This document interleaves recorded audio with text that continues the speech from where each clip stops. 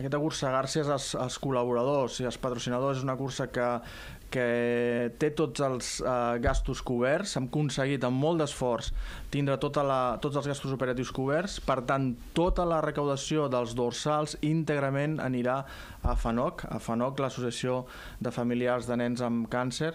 Eh, fundamental la feina que fan en aquest entorn familiar de la curació del, dels nens amb càncer i per tant és important destacar-ho. És important destacar que tota la recaudació íntegrament va cap a, a, a FANOC.